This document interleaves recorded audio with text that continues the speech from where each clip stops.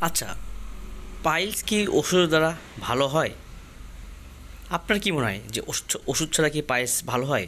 আপনারা অনেক tutorial video দেখেছেন কিংবা অনেক ডাক্তার কিংবা প্রফেসরের মুখ থেকে শুনেছেন যে পাইলস ওষুধ ছাড়া ভালো হয় কি না? তো অ্যাকচুয়ালি আপনার কি মনে হয়? আমার কিন্তু মনে হয় যে পাইলস কিন্তু ওষুধ ছা মানে ওষুধ দ্বারা কখনোই ভালো হবে না। এটা হচ্ছে এমন একটা বিষয় যে আপনি ওষুধ খাচ্ছেন, তো যতদিন ওষুধ খাচ্ছেন, ততদিন আপনি ভালো থাকছেন। ওষুধ খাওয়া বন্ধ করে দিচ্ছেন তো, আবার আপনার সেই পাইলসের যে সমস্যাটা কিংবা পাইলস আপনাকে যে কষ্ট দেয়, সেই কষ্টটা কিন্তু আপনি আবারও পুনরায় ফিল করছেন। তাহলে কী দাঁড়াল যে আসলে ওষুধ ছেড়ে দিলে আপনার পাইলস আবার, পাইলসের যে রোগটি, সে রোগটি কিন্তু আবার তীব্র আকার ধারণ করছে। আর ওষুধ কন্টিনিউ করলে সেটি মোটামুটি কিওর হচ্ছে না, কিন্তু যেটাকে বলি আমরা ওটা রোগটাকে দামিয়ে রাখছে আর কি।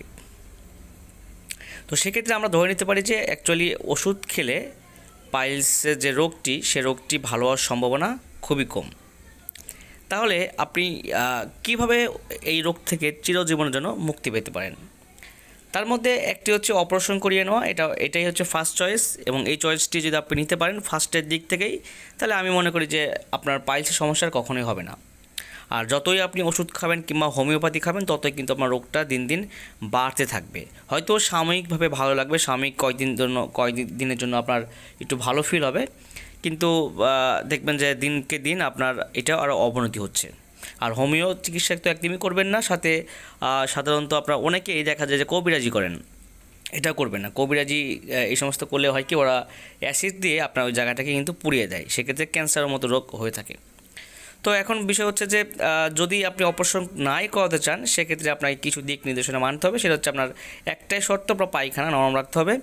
পায়খানা নরম রাখার জন্য আপনাকে যে যে জিনিস করতে হবে, সেটা হচ্ছে আপনাকে কষ জাতীয় খাবার থেকে দূরে থাকতে হবে। গরুর মাংস একদমই খাওয়া যাবে না। আর মাংস যদি খেতে হয়, সেটা মুরগির মাংস যদি খান, তাহলে দুই এক পিস খাবেন।